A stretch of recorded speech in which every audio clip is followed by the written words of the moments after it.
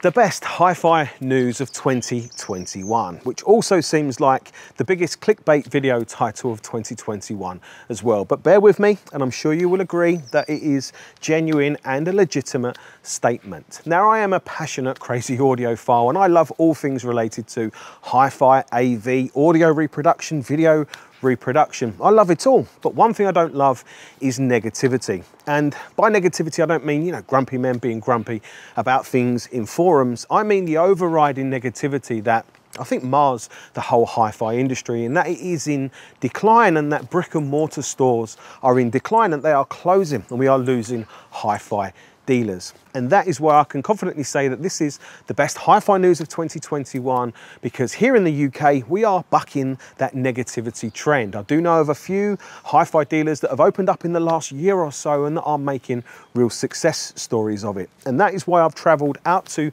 Witham in Essex to meet Reference Audio, who are a new hi-fi dealership that's just opened up and they are less than an hour's travel from me. So I wanted to come out here, find out more about the company, what sort of brands that they are offering, take a look around their facilities, and of course, brought the camera and everything with me to try and bring you along for the ride as well.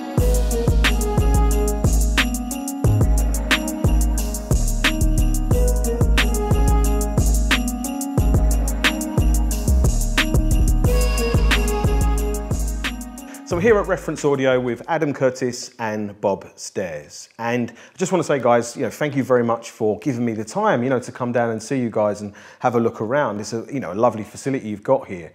And obviously you've just opened, right? So you've still got About a week ago, yeah. Yeah, so you've still got a few finishing touches to, to put in, but you know, it's looking lovely. And again, thank you very much for your time. It's good to have you No here. problem. Thank you for coming. So I want to start by asking, you know, of all the businesses that you could do, of all the things that you could be doing with your time, why, you know, at the end of 2021, set up a hi-fi dealership? Hi-fi has always been a passion of mine.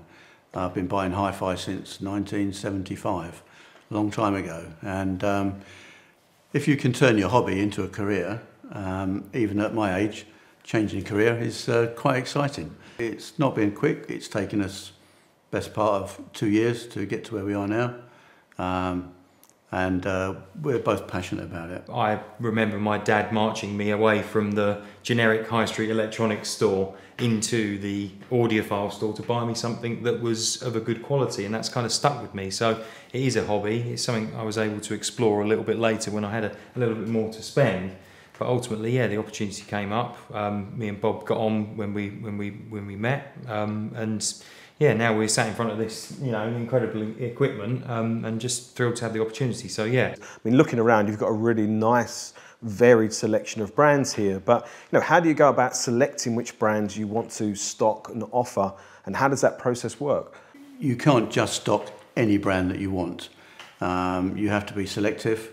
You have to decide which parts of that brand you want to stock. And we've tried to stock equipment here that maybe you won't hear elsewhere. Um, also gives you a variety from low entry price point up to almost whatever you can afford to spend. And we also wanted this to be a destination store. So we had a, a big variety. We're not a, a high street store by any means. Um, so it's, um, it's a complicated process, more complicated than I thought it would be, but uh, it's uh, intriguing and interesting and uh, rewarding when you get it right. Choice is the spice of life, isn't it? But Yeah. again, picking brands has been about trying to find things that kind of complement each other from an opposites way. So if you wanted something that will sit in a rack and be, you know, relatively, you know, inconspicuous in the room but superb, um, you could do that. Or we've got other things that aesthetically might be a little bit louder to look at and arguably grab a bit more attention. So you look at your brand portfolio and you go, right, well, we've got that base covered. How about this base?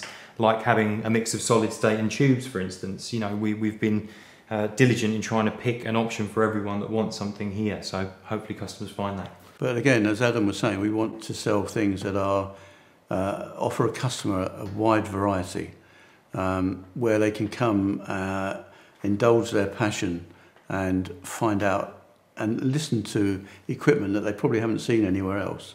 You know, we've got BAT uh, amplifiers here. You're not going to see those in many places. Uh, Plinius, we're going to have Pilium here as well. Um, you know, the Gryphon, the, the Martens, and all of those products are a little bit niche, but at the same time, we've got Arcam, uh, Cyrus are going to be here, uh, Exposure we're going to have. So we've got a vast range um, to meet everyone's expectations.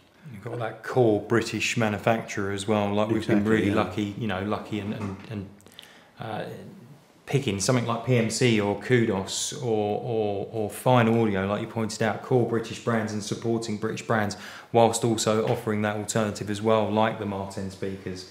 Um, so we're really proud to represent those brands, you know, and they don't they don't pick everyone. So for them to be here is a, a big statement of intent from us, but also backing from them. So yeah, absolutely thrilled to bits with that. I think that leads me really nicely onto my next question, really, because when, when you walk into this room, for example, which is the big, the big demo room, we'll talk about the rooms in a second. But you, you look around and there's some really expensive hi-fi in here. So you know, I, I made a joke before about kind of oil barons. You know, everybody wants you know all their customers to be oil barons to walk through the door spending millions. But you know, in the real world, who are your target customers? Who are you trying to attract? We want to attract everyone who has a passion for audio. So we can, uh, we've tried to set this up so that we could uh, sell a customer a system from £1,000 up to well over £100,000. Um, people have different budgets, they have different aspirations. People also want to upgrade, so we want to get those uh, youngsters in who uh, want to start on the ladder and stay with us over the years and build their system. And we can help them do that. So offering a vast range of price point as well um, enables people to upgrade. It's one of the reasons that we haven't gone too much into active speakers because active tends to lock people in. And uh, that's not really what we want as a business. And uh, lots of customers don't want that either. They want to, to grow. Other customers want to buy a lifetime system and think they're going to stick with it until they get the bug and then they come back and want to change. And we want to be able to uh, accommodate all of that. You know, hi-fi is so diverse now, isn't it? You, you think about, you know, you can get a very good result for, you know, sub a thousand pounds, which we want to Yeah. we want to be in that market. We want to be on that journey.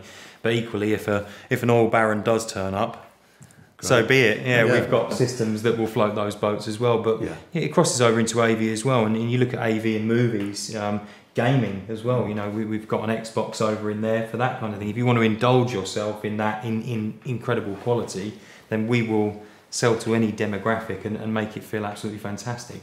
You know, I think that's probably something to, to mention as well is that obviously the bulk of this facility is hi-fi orientated, but not all of it. You've got a dedicated cinema room with a big screen. So that's going to be a, you know, obviously it's a little bit of work to go on in there in terms of finishing touches, but that's going to be an amazing facility to show people in a, in a very good sized room, but not a crazy sized room. It, you know, it's a, a realistic sized room for what some people I'm sure have.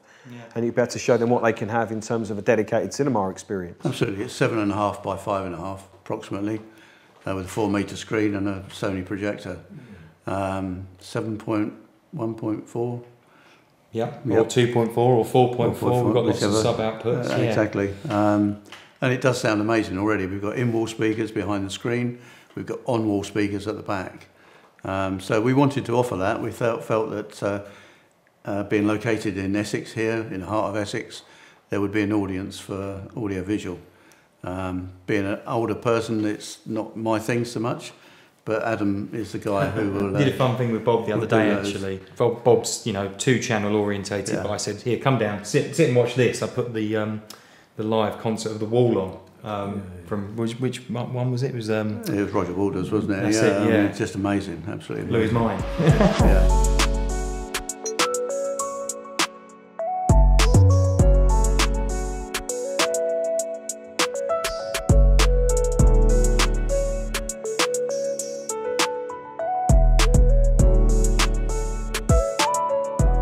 I want to quickly talk to you about the, the role of the hi-fi dealer in, in the modern world because you know it's, we all know the modern world is very e-commerce driven. You know everybody buys you know everything from toothbrushes to I don't know batteries from Amazon. So the hi-fi dealer's role to me is even probably even more important because you guys need to stand out. You need to offer you know a different level of service really to customers. So you know wh- wh- why would a customer want to come here as a hi-fi dealer? What are reference audio offering? You know, and, and why should someone come here and, and try and build or start to build a relationship with you guys? I think we can offer some expertise, although we're both reasonably new to the trade. We've been doing this for a couple of years or so now. Um, lots of people do buy online, and particularly during recent lockdowns, that's been the only option. Um, but the hi- a hi-fi trader, a dealer like us, uh, retailer can actually offer a first-hand experience of seeing the equipment, testing it, see how big it is. Sometimes people don't realise how big this equipment is and they think, I won't ever fit that in my home. Um, so we can offer that experience, help them build a system. Going online, you're going to get a variety of different uh, answers to your question, and not all of those answers are going to be the ones you want to hear, or they're not going to be accurate. Not saying that we can always be fully accurate, but at least we can help people through that journey. And if you've got a passion for it, as we have, that's what we want to do. We want to help them, and any decent hi-fi retailer should be able to do that. It's the setting as well, isn't it? When you come into yeah. here, that the building's quite big and it's it's got its own car park, so it should it's easy for people to navigate into to park up and come and see us and spend some good quality time here. You know, we've got good coffee, we've got such a good variation of systems for people to listen to, all wrapped up in a, a building that makes it look cool. Mm. Let's not let's not be around the bush. Hi-fi is cool, and it should be presented in that way. And when someone's buying it, they should feel that, and hopefully, when they feel that in this room, they're they're spending their money on something that is going to help them enjoy their music more. And music is um, is important to us as well. We're both big music fans, so. Um, we're always interested in hearing new stuff and, and, new stuff to play on as well. Can we talk a bit about the facility because we're in a this this large large listening room at the moment, yeah. but this is not your only room. You've got multiple rooms, which is the, the bit that's really impressive because yeah. how, how those rooms are tailored for a specific reason. So can you talk us through that? And we decided we wanted to turn this into a destination store, and we have five demo rooms here now. Um, this large one on the ground floor here is roughly 11 by five and a half. Um, the AV room, as we said just now, is uh, five and a half by seven. And upstairs, we've got three demo rooms that we wanted to be much more like a domestic home setting. So we've got a room that's roughly three and a half by five and a half, one that's three by five, and uh, a square one, because some people have square rooms at home and it's roughly four metres squared. Um, and we wanted to try and make this place um, a destination for aspiration, but also a destination where you felt at home. Accessible. And accessible. Yeah. And right from when you arrive, as Adam says, we've got 15 car parking spaces off street, um, so you feel safe and happy as soon as you arrive here, have a nice cup of coffee and sit down and listen and that's what we're about really. I think with the rooms upstairs as well, you know, you, have got to bear in mind that a lot of people are going to be using these systems in imperfect rooms, and you said to it earlier, I don't know what your room's going to sound like, so stuff does sound different. But when you go to a, a hi-fi store and it has got panels everywhere and stuff on the ceiling, it can be a little bit daunting. That okay, I'm hearing it, but am I hearing it? So we've been sparing with the use of room acoustics. Of course, we have to have a couple, but the fact is we've got five rooms for a reason. And if you wanted to look on the website, you'll see an you know an explanation of them, what to expect. So we've got soft furnishings in them, we've got artwork on the wall, we've got stuff that makes it feel homely. So when you hear, hear what, what you want to buy, you should hopefully hear it in an environment that's going to make you think, yeah, well, that's similar size to my room, or you know, this room's uh, of a dimension that will work uh, with the speakers that I've got at home. So yeah, we're, we're, we're hoping people will come here and go, that's what I want, that's what I'm after. So, obviously, on that question, in terms of coming here, um, so you guys are based in Witham in Essex. Yes. It's literally just off the high street, isn't it? I'm sure that's where I drove, wasn't it? Yep. Literally just off the high street. Opposite the library, is it? On near the library? Just a couple of doors up from the library. Okay, so if you can find the library, you should be able to find you guys. Yeah. And Witham Station, five minutes away. Okay, um, nice, easy access from the A12 as well. so, but in term, terms of coming down here at the moment, obviously it's the end of December 2021, so you know COVID is still very much a thing, isn't it? Or it's very much back a thing, unfortunately.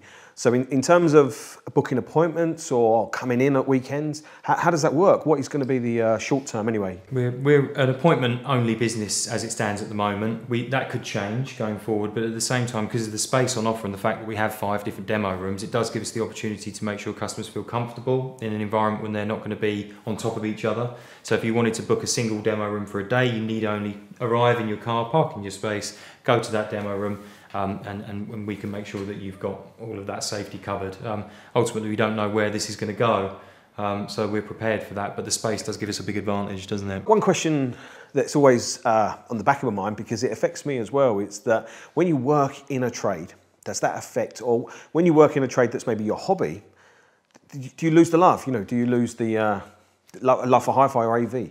I've always imagined that uh, people that run stores like this have amazing systems at home, but uh, Adam and I seem to be quite unique in that. The, the people we've come across actually don't have much hi-fi at home or even a great interest. Um, but we come from uh, being customers basically, uh, into this trade. So we've got good systems at home and we want to maintain those. So I probably listen to more music at home than I do in the store.